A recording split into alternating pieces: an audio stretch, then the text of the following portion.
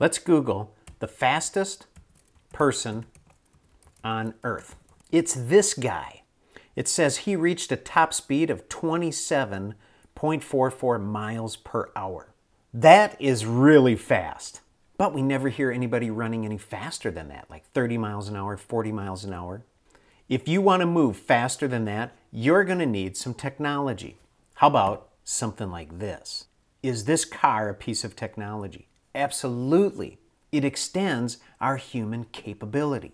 We're only capable of about 27 miles per hour. But you get us in one of these cars and we can go a lot faster.